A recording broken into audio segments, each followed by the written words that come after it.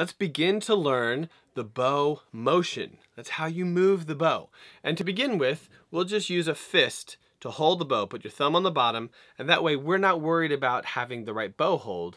We want to move the bow the right direction. So hold it straight up and down like it's a rocket ship, and the tip goes up.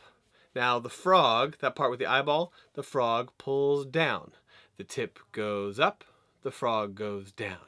Up, down, up, down. Do it with me. Up, down, up, down. Good.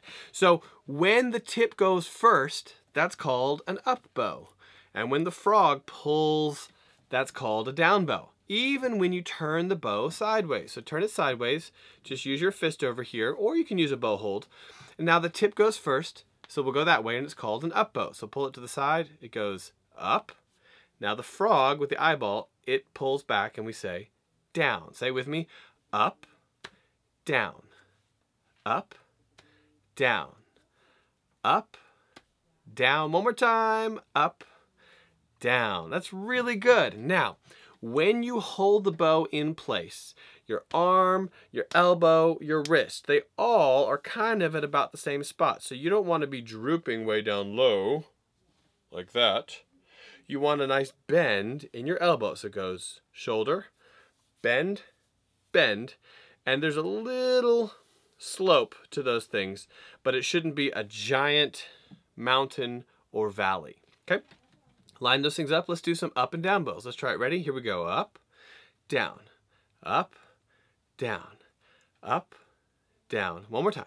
Up, down. Good. Now we're going to practice by using some rosin.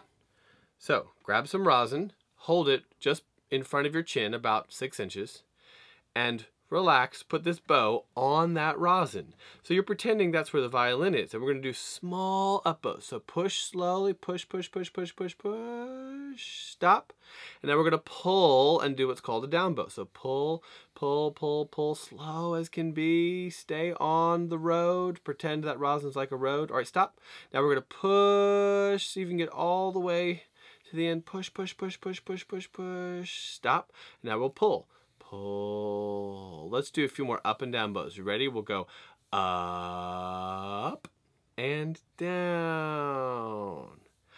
Up and down. One more up bow.